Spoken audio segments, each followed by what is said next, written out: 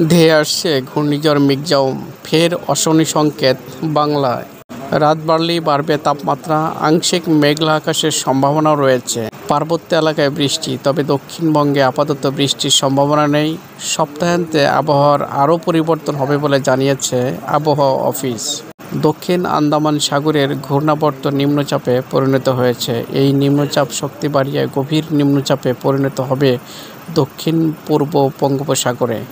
উনত্রিশে নভেম্বর বুধবার দক্ষিণ পূর্ব বঙ্গোপসাগরে ঘনীভূত হবে অতি গভীর নিম্নচাপ। প্রাথমিকভাবে এর অভিমুখ পশ্চিম ও উত্তর পশ্চিম দিক।